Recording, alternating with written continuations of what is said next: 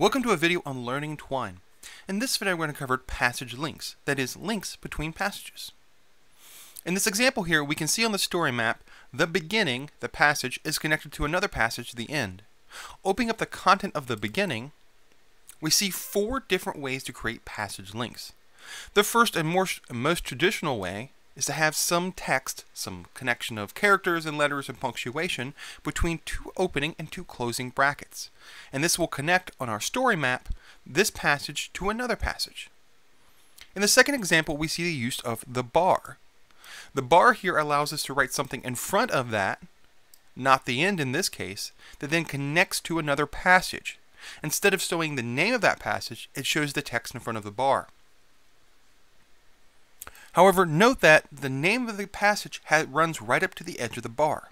If I add a single space here, and then close this, an additional passage will be created because the story map understands now, or thinks it understands that is, that another passage with a space in front of the end, single space here in front of the name, now needs to exist. If I delete this, the story map shows us as now a broken link coming back into the beginning, I can get rid of this extra space that I didn't need, and now the story map, closing this, will be restored. The two other examples here are a way of using the arrow syntax and creating passage links.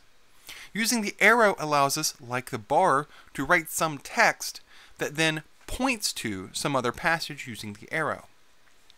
In the first example, we have the text is at the end with a question mark pointing to the passage at the end, using the right arrow syntax.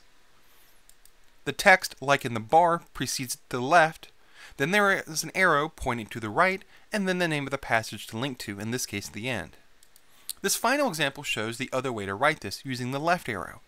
We can start with the passage, the end, use the left arrow, and then the context or string we want here. Is it the end?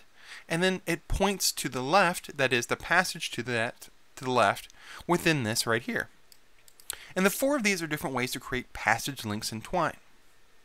The other thing to note is that these are universal across the built-in story formats in Twine 2. All of these work the same, but may look slightly different depending on the story format. I can demonstrate that now by first showing the demonstration in Harlowe, which is my default here, Notice we click on any of these and we go back to the same passages and we can click back and forth because these two passages are connected. Closing this and now going down to the story menu, changing story formats to Snowman, closing this, playing this again, we see the same thing. Now it looks slightly different because the story formats influence layout and stylistic choices, but the functionality is the same.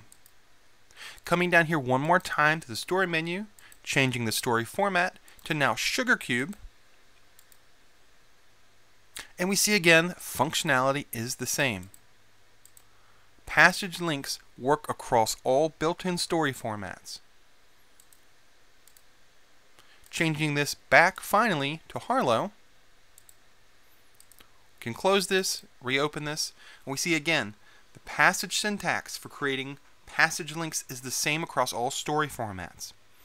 We can either include the name of a passage in opening and closing brackets, use the bar to create text in front of that link, remembering that the exact name has to follow, or using the arrow syntax to point to the right or point to the left, depending on how we want to create passage links within a passage. This has been a review of passage links within Twine reviewing the four different ways to create them, using either the name of a passage, using the bar to create text in front of that name, or using the arrow syntax to point to the right, including the name in that passage link, or point to the left, including the name first in that passage link. All these are different ways to create passage links in Twine. Remember, of course, that it's universal across all built-in story formats in Twine.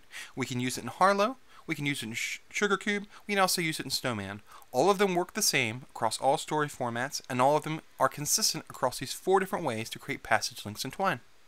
Thanks for watching.